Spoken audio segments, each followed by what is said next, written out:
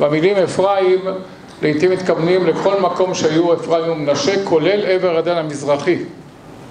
כן, שנקרא ארץ אפרים, זה שם כללי לשני השבטים והתנ"ך משתמש בשם אפרים כהגדרה גיאוגרפית. לנושא של ערים אלה לאפרים בתוך ערים מנשה זה נזכר לגבי ארץ תפוח, לא לגבי האזור הזה. אפשר לכבות את האור? בבקשה? אוקיי בסדר, היה בדיוק השיחה. טוב. אפשר אולי ליישר את המקרן, אני רואה שאני הקמתי אותו טיפה. אולי תוציאו את הכוסות, אז זה לא מפריע. טוב, אז לא רואים את החלק העליון. תקרבו, תקרבו את הארגז.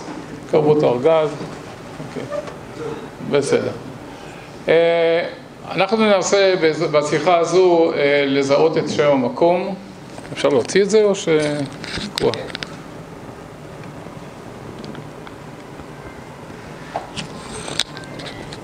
ולהעלות כמה נקודות, רעות דיברה על הנושא של שמן, מוצרים מיוחדים שייצרו במקום וכדומה, אני אעלה רעיונות למרות שללא בדיקה ארכיאולוגית ונראה אם זה יסתדר בחפירות הארכיאולוגיות. אז אנחנו נדבר על הנושא של זיהוי המקום, בזיהוי מקומות אנחנו משתמשים באיסוף מקורות היסטוריים, איתור מדויק על פי הישמרות השם בשטח, מה שנקרא טופונומיה ואימות האיתור על פי ממצאים ארכיאולוגיים. אלו שלושת, נקרא לזה שלושת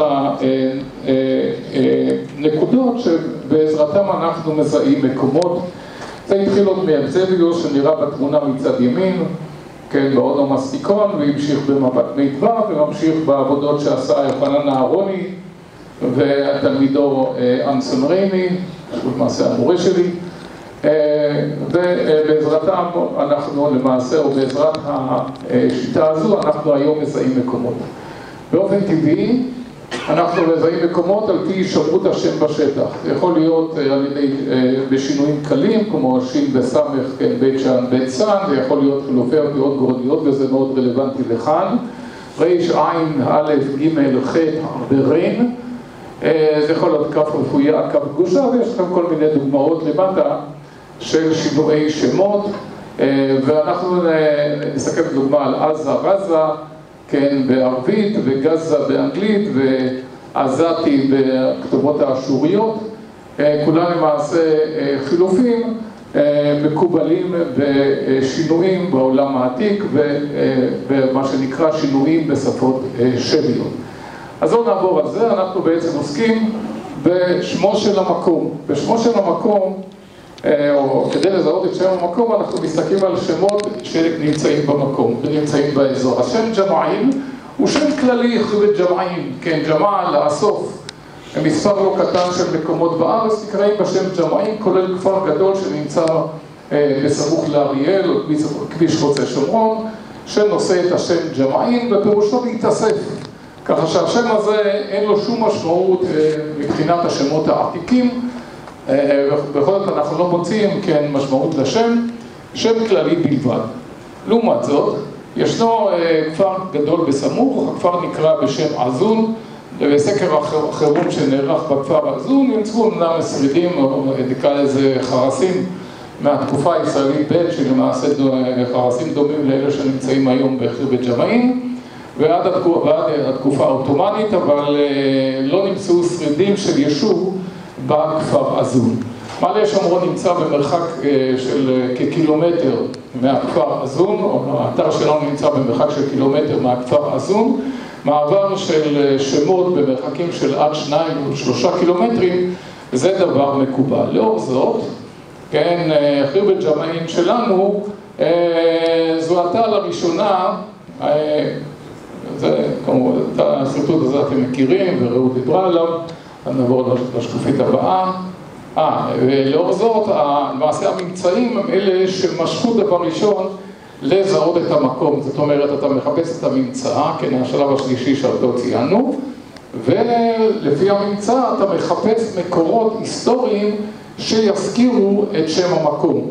מה אומר הממצא? הממצא אומר כפר שכפר לא גדול, כן, שטחו הסופי אינו ברור כי חלק ממנו יושב מתחת לאזור התעשייה. הכפר לא מבוצר, יש בו בתי ארבעת מרחבים או כחמישה עשר בתי ארבעת מרחבים. ויש לו אזור חקלאי או מרחב של מתקנים חקלאיים גדול, מושקע ומשמעותי כשבתי ארבעת המרחבים למעשה הבתים נקרא לזה היפים והמשמעותיים שבמקום. מישהו שאל אותי קודם למה ארבעה מרחבים? אז מרחב אחד זה החצר מרחב אחד זה החדרים מימין, מרחב שני זה יכול להיות מרחב פתוח או חדרים משמאל והמרחב הרביעי למעשה הם החדרים שמול החצר, כן, באזור שמול החצר. זאת אומרת בבתי ארבעת המרחבים למעשה הבתים שמציינים את המקום כמקום חשוב כשהם צמודים אחד לשני. כבר ציינו בהקדמה שנתנו לפני הסיור שבבתים האלה ישנם אחוזי עצמות חזיר נמוכים ביותר ולכן יש להניח שבבתים האלה לא אכלו חזיר בנוסף לכך הם נמצאים תמיד באזורים של כפרים או יישובים שאנחנו יודעים על פי המקורות ועל פי הממצאים יושבו על ידי אוכלוסייה ישראלית. כבר ישראל פינקשטיין שלא דוגל כל כך בנושא של ישראליות וישות ישראליות וכולי כותב בספרו, כן, ב-2003 תקופת ההתגבשות של הישות הישראלית בים לא חלו, בשלו ואכלו אף גידלו חזירים באזורי ההר, הוא מדבר על הבתי ארבעת המרחבים אפשר, זה הרמז היחידי שבינו זהות ספציפית משותפת מתושבי הכפרים של מערב לירדן והוא כמובן מדבר על מנהגים קולינריים, כן, הוא לא מעז לדבר על דברים אחרים אבל זה עוד פעם מושך אותנו לעניין הזה. בחלק גדול מאוד של הבתים יש חדר אחד שאינו בלי כלים והנחה של אבי פאוסטי שמדובר כנראה במקום שקשור לנידה או לטומאה, שם לא הכניסו כלי חרס, אלא כנראה כלי עץ, כלי אבן וכדומה. כן, חדר אחד נשאר ללא כלים. אנחנו נעבור הלאה. מבחינת הכניסות לבתים, האתר הזה דומה מאוד למה שיש לנו בתל קסילה. אתה הולך לאורך סמטה, הכניסה לבתים היא כניסה רק מכיוון אחד, כנ"ל גם רוצים במספר, בשורת בתים שנמצאים בתל קסילה, הבעיה שבתל קסילה יש בית אחד, בית שני, וכאן זה כבר מחסנים ועוד בית אחורי, כאן יש לנו שורת בתים הרבה יותר גדולה שבהם אתם רואים את התופעה הזו. ייתכן שזה באמת קשור לאותו מדרש בפסיקה זוטרתא, כן, ראו אותם שמה טובו עליך יעקב משכנותיך ישראל, ראו אותם שלא היו מכוונים פתחיהם, פתח כנגד פתח, היו צנועים וכולי. זאת אומרת, זה בהחלט דבר מאוד מאפיין את שני האתרים האלה, גם בתל קסילה וגם כאן. לנושא, אם כך, אנחנו בעצם מדברים על אתר שבין המאה התשיעית, שמינית, לפני הספירה ואולי קצת הלאה, כשיש לו בתי ארבעת מרחבים שמייצגים אוכלוסייה ישראלית ויש לו מתקנים חקלאיים. אהרון כבר ב-1997 ניסה לזהות את המקום עם מקום בשם עזה, כן, לאור שמו של הכפר עזון, כן, עין, עין העזון עזה, כן, נשמע די טוב. כתוב בדברי הימים א', פרק ז', ישנה הגדרה מסוימת של מושבות בני אפרים ושם נזכר, נזכר ששכם ובנותיה עד איה ובנותיה מקובל היה לראות את איה מדרום לשכם, בדרך לכיוון ירושלים והוא אומר לא, מדובר באיה שנמצאת אולי במערב. הוא מסתמך על תרגום יונתן לאיה שמתרגם עזה, עד עזה וכפרנהה כן, עד עזה ובנותיה לפי תרגום יונתן. וכאן הוא לוקח גם את התיאור של התפשטות המדיינים בימי גדעון כן, והשחיתו את יבול הארץ עד בואכה עזה וטוען שאולי מדובר במקום הזה ששמו עזה לעניין, לעניין הזה, כן, אנחנו חייבים לדחות את העניין מכיוון שאנחנו נמצאים בתוך גבול מנשה ולא בתוך גבול אפרים וכתוב בפירוש בספר יהושע כן, הוא גבול מנשה מצפון לנחת זאת אומרת, אנחנו נמצאים בתוך מנשה ולא בתוך אפרים. עניין שני, המקום הזה היה, כן, ידוע גם ממסע סדחרים כן, בישעיהו פרק י', ועל עיה דבר במגרון למכמש כליו. זאת אומרת, היא נמצאת סמוך מאוד למכמש, סמוך מאוד למגרון, נמצאת על הדרך שנקראת, מה שנקרא דרך האף ב-60, אז את היה, אנחנו מזהים היום עם מחיר בית-אל, מדרום לכפר אה, דבר, מקום שמתאים יותר לזיהויה של היה או האי הצפונית, כן, יש האי אחרת, כן, שנזכרת בהקשרים הרבה יותר נרחבים, וכאן מדובר על מקום שנקרא בשם אייט, אנחנו מקבלים את הזיהוי של קלעי, של אהרוני ושל אחרים שהאייט נמצאת מצפון לירושלים ולא באזור שלנו. וכך אנחנו נשארנו אה, בשאלה מהו המקום הזה שבו אנחנו נמצאים בתוך נחלתו של המערבית של שבט מנשה. אה, לעניין הזה יש לנו פה הגדרה של משפחות מנשה ולפי ההגדרה של משפחות מנשה יש לנו חמישה בנים שמקבלים נחלות כן, ואילו חפר לא מקבל נחלה אלא נכדותיו מקבלות נחלה ככה שיש לנו חמישה בנים אביעזר, חלק, עשריאל, שכם ושמידה ונכדותיו של חפר מחלה נועה חוגלה מלכה ותרצה ויחד יש לנו עשרה חלקים מחבלי מנשה. כדי לזהות את עשרת החלקים האלו בחבלי מנשה, אנחנו אה, שמחנו למצוא מהתקופה של קיומו של האתר שלנו, מהתר, בתקופת קיומו של, של האתר בחיבת ג'מעין, כן, ארמון, אה, מתחם ארמונות שנמצא כמובן בעיר שומרון, שנראית כאן בתמונה, ובחלק המערבי של הארמון, מה שנקרא ארמון החב, נמצא בית מחסנים גדול, ובבית המחסנים הזה, כן, בעיקר בחדרים. המזרחיים שלו, כן, מימין לספרה שלוש, נמצאה כמות של כמאה חרסים, והנה יש לנו פה תמונה, כן, של האזור של הארמון, והאזור של בית המחסנים שכוסה לחלוטין אה, על ידי מטע, הזיתים, כי זה בעצם היה הסכם בין החופרים לבין אה, אה, תושבי הכפר סבסטיה. אגב, החפירה הייתה בין 1908 לבין 1910 על ידי פישר. ופישר מצא אה, כמאה חרסים ועליהם כתובות. כן, החרסים זכו לשם האוספרקונים משומרון או חרסי שומרון וחלק מהחרסים מזכירים את הנחלות האלה שציינתי קודם, כן, את הנחלות של מנשה יחד עם כפרים שנמצאים באזור. בואו ניתן דוגמה למה שמופיע בחרסים הללו.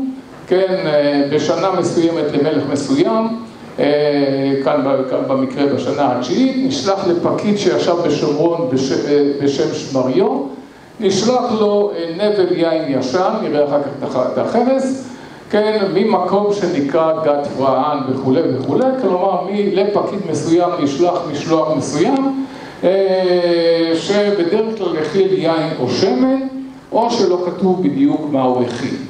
והנה, בחרס מספר 2 לפקיד בשם גדיו, נשלח, אה, נשלחה תוצרת ממקום בשם עזה, ובעלי אחוזות שישבו בעזה היו למעשה ארבעה, בעל, למעשה בעלי אחוזות היו ארבעה בעלי אחוזות ששלחו את, אותם, את אותה תוצרת, אבי בעל, אחד, שבע ומרי בעל. לא כתוב מה בדיוק הם שלחו.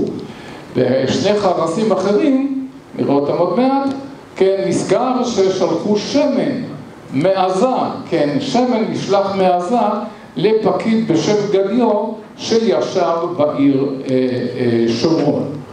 זה היה בשנה העשירית, ואנחנו מניחים שזו השנה העשירית למלך ירובעם השני. למה? זה כבר עניין של מחקר אחר והרצאה אחרת. ובכן, בשנה העשירית למלך ירובעם השני נשלחה אותה תוצרת. צריך לציין שבמקום סמוך לנו כן, אה, זוהה מקום בשם חצרות, חרבת ציר שנמצאת בצפוננו, ולגבי חרבת ציר שנמצאת בצפוננו נזכר בשנה ה-15 הפעם, לא לירובעם אלא לאבא שלו, כן, המלך יורש, נזכר שחצרות נמצאת בנחלת חלק. וכך למעשה יש לנו, חלק מהחרסים מציינים שמות של מקומות ושמות של נחלות, וחלק מהחרסים מציינים רק שמות של מקומות. לאור הזהות בין השמות של הנחלות לאותם שמות שמצאנו בספר יהושע, שלפחות לפי הגרסה של המסורה נכתב 500 שנה קודם, או איזה תיאור של 500 שנה קודם, מסתבר שאנשים שמרו את שמות הנחלות. כך לדוגמה, איך זוהו המקומות, אז הוא כמובן על פי, אז הוא השמות שנשתמרו בשטח, על פי, גם, וגם על פי זהות ארכיאולוגית. דוגמה, אם בחרסים נזכר מקום בשם אלמתן, כן, הוא מזוהה בכפר אלמתין ליד ג'ינספות, כן, ונזכר לגבי אלמתן שהוא נמצא בנחלת אביעזר. נמצא יישוב בשם טול, היום זה הכפר הערבי שנקרא טול מול חוות גלעד, וגם אז נזכר בחרסים, זה בנחלת אביעזר. הכפר כוסין, כן, משמר את השם קצור, וגם שם נזכר שזו נחלת אביעזר, בחוגלן נזכר מקום בשם גבע, כן, פה יש לנו אפילו נתונים של הסקר הארכיאולוגי שמלמד עליו, שיש שם חרסים מאותה תקופה, וכנ"ל נזכר מקום בשם יצת, היום הכפר יסיד, במורדות הצפוניים של הר עיבל. כך למעשה אפשר לסמן את המקומות וליצור בעזרת חציוני המרחקים בין מקום למקום מעין פוליגונים ויש לכם במעשה מין שטחים ששלחו לעיר שומרון את התוצרת מכל אזור ואזור. כך למעשה ניתן גם לסמן את הנחלות בנחלת חוגלה, כן, עם יצד וגבר, תרצה מזוהד מסיבות אחרות, כן, בנחל תרצה והסביבה, מחלה באזור מחולה בקעת הירדן, נועה באזור הגלבוע ומילכה באזור עמק דותן, ולגבי הבנים יש לנו את אביעזר, כן, שנמצא באזור של שומרון והסביבה,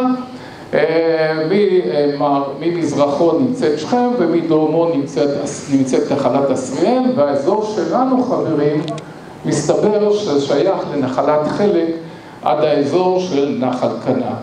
כך יש לנו למעשה מין חלוקה של עשרה אזורים, והיו חבלי מנשה עשרה, כמו שאומר הפסוק בספר יהושע פרק י"ז, לעשרה אזורים, והאזור שלנו, כן, הוא אזור חלק לפחות לפי הזיהוי של היישוב חצרות. עכשיו השאלה היא, היכן היישוב עזה? בזמנו, אהרוני שצמצם את כל, את כל, נקרא לזה, את כל התוצרת לאזורים קרובים מאוד לעיר שומרון, ניסה לזהות בזמנו את היישובים קרוב לשומרון, זיהה את עזה בכפר זוואטה, שימו לב השם די רחוק מהשם עזה, הסמוך לשכם, כן, חיר בית אל-קוס, כן, ליד הכפר זוואטה, הסמוך לשכם. זה היה אהרוני, בעקבותיו הלכו רבים, כולל עבדכם הנאמן, כן, לא כל כך פקפקתי בזיהויו של אהרוני. לאחרונה, גם לא, בעיקר לאור החפירות כאן בחיר בית ג'מעין, יש לחשוב אולי עזה, שלא נזכר שמה באיזה נחלה היא, בכלל לא נמצאת כאן, אלא דווקא נמצאת בנחלת חלק, ואז זה הופך לנו, כן, נחלת חלק, כנחלה שיש לנו גם את האזור של חצרות וגם את האזור של עזה, שנמצא סמוך לה. אם אכן אנחנו צודקים, אז אנחנו נמצאים כאמור בנחלת חלק לפי הזיהוי של חצרות, כן, שזה כתוב ממש בחרסים, וכאן מעזה הגיעו כאמור שלושה, נקרא לזה, שלושה משלוחים לעיר שומרון, בחרס מספר 2 כתוב כך, בשנת, בשעת, העשרת, מבחינתנו זה השנה העשירית למלך ירובעם השני, לגדיו, שזה הפקיד שיושב בשומרון, מעזה, שלא כתוב בנחלה, אנחנו מניחים שזה בנחלת אה, חלק, ואביבל שלח שני משלוחים, אחת שלח שני משלוחים, שבע שלח משלוח אחד, ומריבל שלח משלוח אחד. זה החרס האחד שהתגלה בעיר שומרון, ואתם רואים, יש פה את העתיק והמחברת של פישר, כן, עוד מהחפירה מ-1910. שני חרסים אחרים מזכירים גם הם די דומים, בשעת העשרת, מעזה לגדיו, לאותו פקיד שיושב בשומרון, נבל שמן רחוץ. ובחרס השני הוא מקוטע, אנחנו מניחים שהיה רשום, כן, רישום די דומה, לכן קוראים לזה 17A, 17B.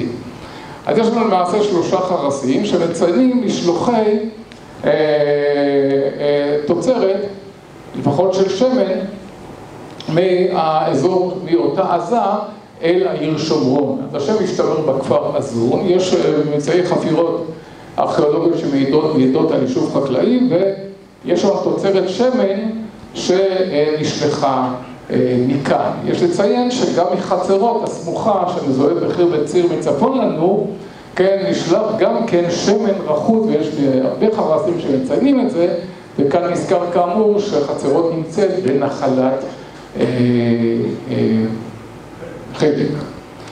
אז אם כך, יש לנו כאמור את חצרות ועזה בנחלת חלק, בחלק הדרומי אה, הדרומי מערבי של השטח. שאלה, שניים מהחבר'ה האלה, או שניים מבעלי האחוזות שישבו או ששלחו תוצרת לשומרון מעזה, נשאו שמות תיאופורים נוכרים, אבי בעל ומרי בעל. איך זה יכול להיות? שתי תשובות לעניין הזה.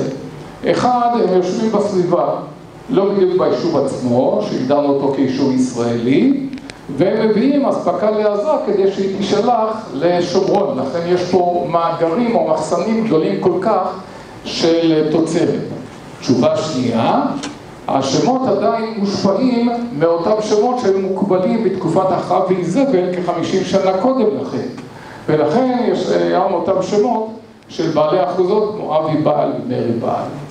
שאלה, מה זה שמן רחוץ? אז עניין השמן הרחוץ כבר אה, נבדק על ידי מספר לא קטן של חוקרים ונעשתה עבודה ב-2012 על ידי זוהר אמר שלאור העבודה הזו, ואני לא אאריך, לדעתו שמן רחוץ הוא שמן ששטפו אותו היטב כדי להוציא ממנו את הריחות ואת הצבע הצהוב. והשמן הזה שימש לבשמים או לתעשיית הבשמים. הוא מביא אה, אה, מקורות, כן, בעיקר מקומות מהעולם המוסלמי, כן, שסובב אותנו במאה ה-11 וה-12, ויש אומרים שהוא שמן זיתים לבן והוא פלסטיני, שהוא השמן השטוף, כן, אה, אל מערוסול, ובהמשך הוא מסביר את מקור השם השמן השטוף, הוא השמן העשוי עם מים עד שילבין ויהפוך את ציבור ואת ריחו. וזוהר אמר, יחד עם דוד אילוז, עשו ניסיון בשמן הזה, ובאמת שטפו את השמן היטב במים, כל פעם שטפו והוציאו, שטפו והוציאו, אישרו במים ועוד פעם הוציאו, הוציאו לשמש, כן, שימו לב לעוד מקור שכותב, קח את שמן החדש בעל הניחוח הטוב והטעם הערב שאין בו שום תכונה בולטת, נשים אותו בכלי בשמש, יוצקים עליו מים העלויים לשתייה, לאחר מכן לאחסנו, להחליף לו את המים כל יום. יש לעשות זאת בהתמדה, עד אשר ילבין וישנה את ציבו. אתם מבינים, יש פה מאגרים גדולים מאוד, כן, בורות גדולים מאוד, כנראה כדי לעשות שמן, מה שנקרא שמן רחוץ. בעין גדי נתגלה כלי לעשיית שמן רחוץ, זה כלי כזה, אתם רואים כאן, ובחלק התחתון שלו ישנו פתח שאותו סגרו כאשר מילאו את הקנקן במים ושמן, ואחר כך הוציאו, כן, לאט לאט את הנוזל. אה, אה, והחליף אותו כל הזמן, לדעתו זה מה שהיה. אני מודה לכם מאוד על ההקשבה, גמר חתימה טובה ובאתי.